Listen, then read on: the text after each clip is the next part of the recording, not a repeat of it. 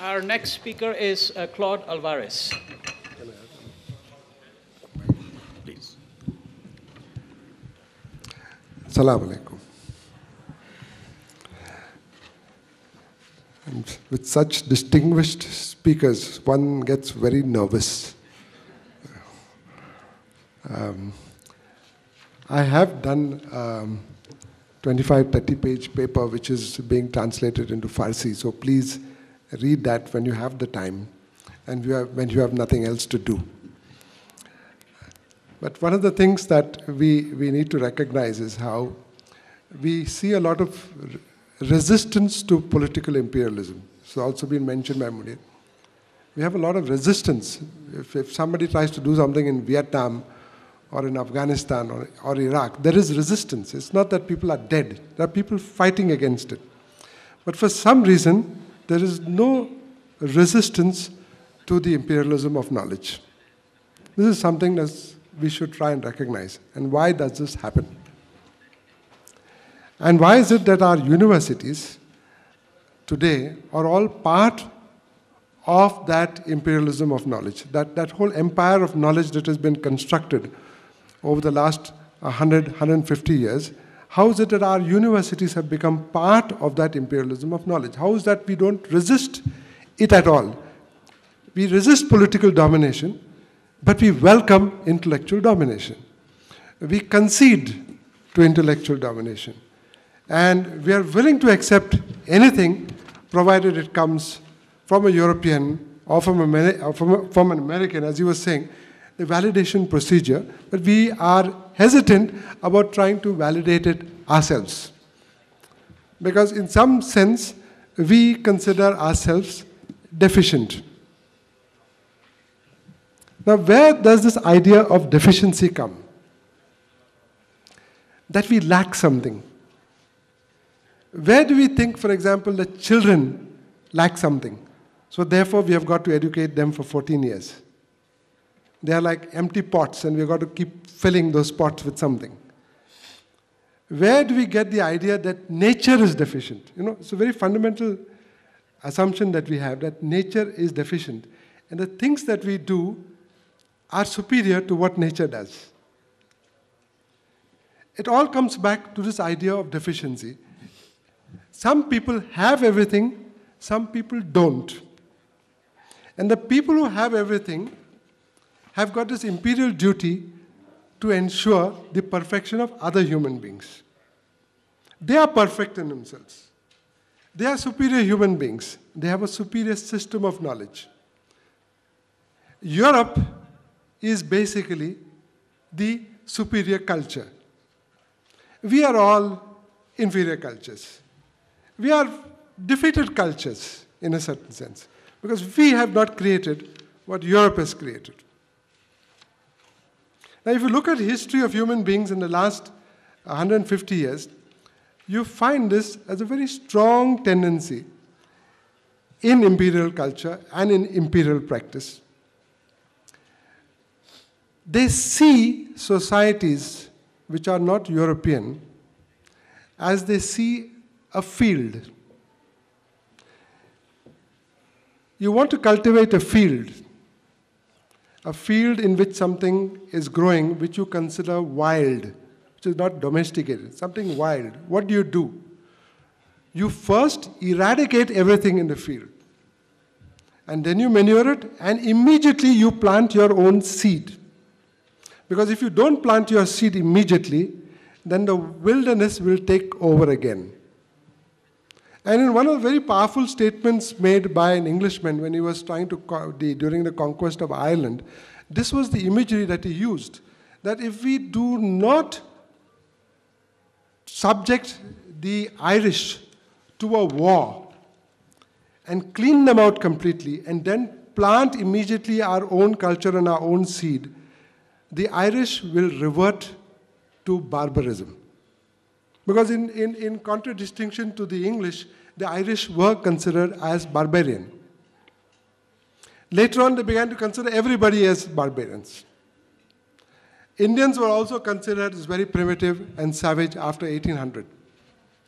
And in 1313 and in 1813, William Wilberforce actually made a very interesting speech in Parliament where he said that these Hindus are so depraved that unless we convert them all to Christianity, there is no redemption for them.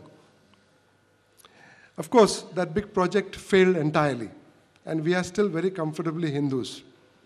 And that big you know, conquest of Hindustan and making it into another version of Christendom completely fell on its face. But 20 years later, the person whom Raju mentioned, Macaulay, he proved to be more successful.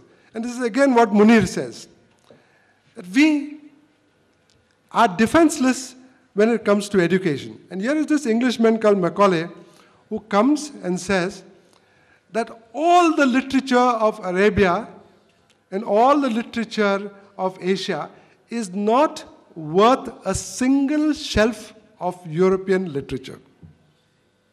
And it can all be put into the basket. And we should stop teaching people in India in Persian and in Urdu and in Sanskrit and in Arabic. You know, these were languages which were taught in India in 1800. We Indians were teaching in Persian. It's so difficult for us to accept. But we were teaching people in Persian, we were teaching them in Arabic, and we were teaching them in Sanskrit. And he said, nothing good can come by teaching people in these very crude languages. The only language worth teaching them is English. And the only knowledge worth giving them is the knowledge of European literature. Everything else is to be cast aside, is to be thrown aside. And that's how we come to this conclusion eventually after being uh, the, uh, been through this education system of several decades. It's now not just 10 decades or uh, 10 years or 20 years, it's several decades.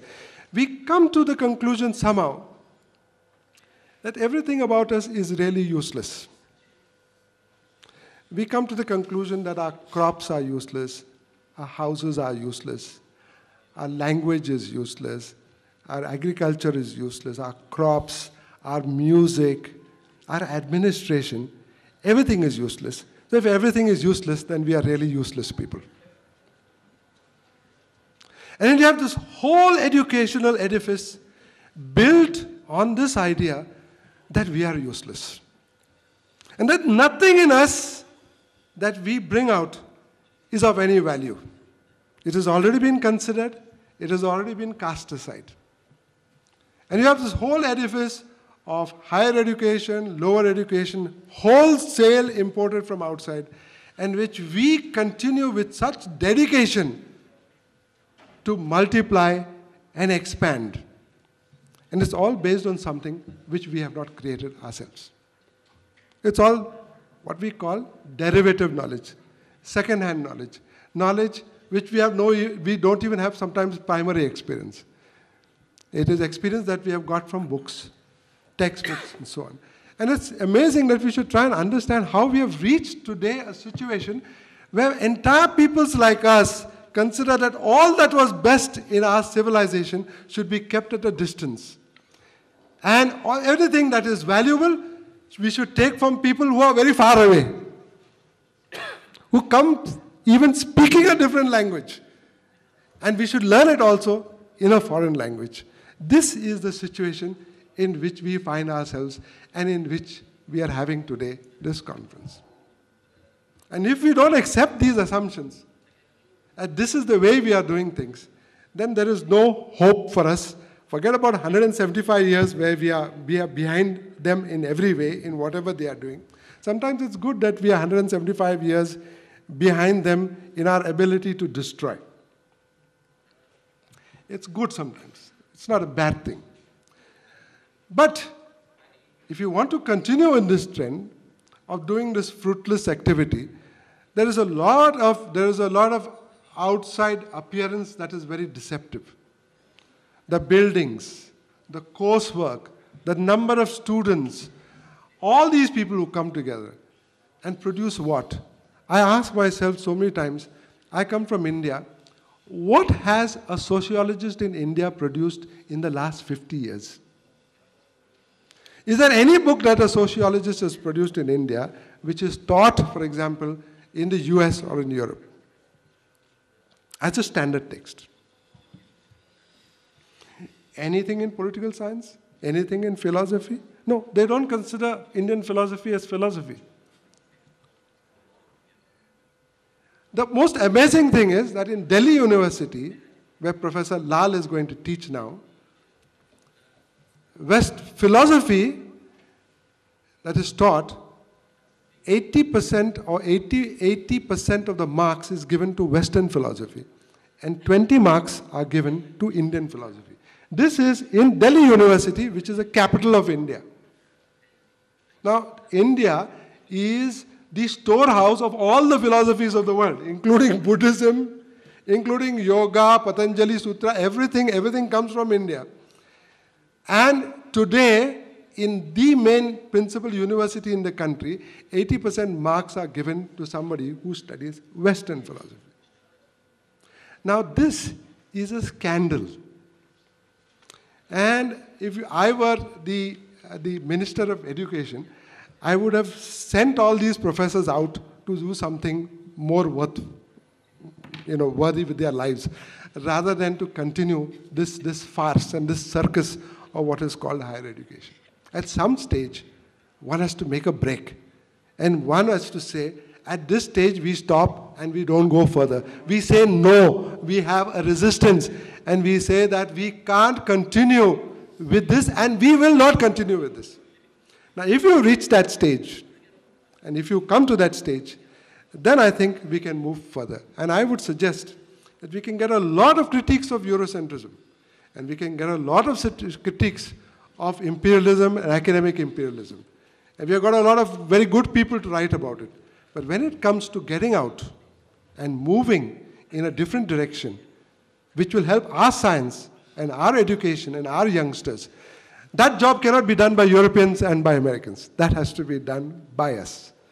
It cannot be done under their tutelage and by being educated by them. It has to be done by us, by educating ourselves, and by bringing out what we have within ourselves. And if we spend the next two days doing this, and I'm quite sure that something great will come out of this conference. Thank you.